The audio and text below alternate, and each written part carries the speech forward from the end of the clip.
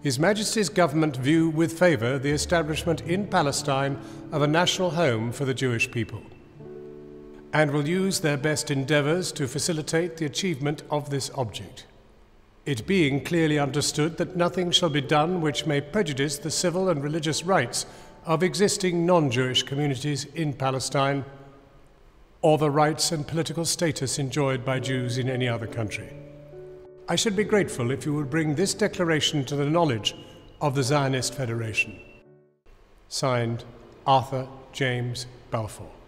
Britain was looking for allies, and in the search of allies, Britain made three promises which were incompatible with one another.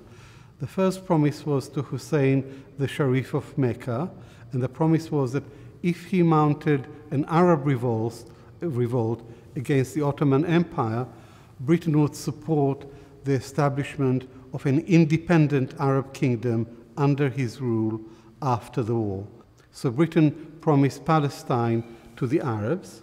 In 1916, there was the Sykes-Picot Agreement, a secret agreement between Britain and France to divide the Middle East into a French sphere of influence and a British sphere of influence but they couldn't agree on Palestine, so Palestine was to be put under a separate international administration.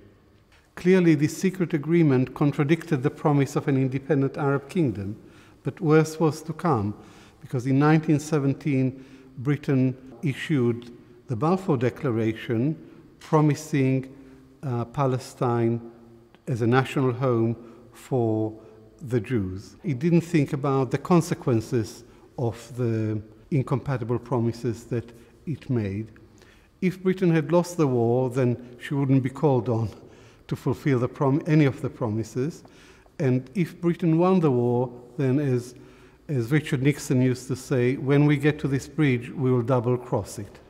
Today, Britain should do a reckoning about its failure to protect Palestinian rights and Britain should come to terms with the fact that it enabled a Zionist minority to begin the systematic takeover of the entire country.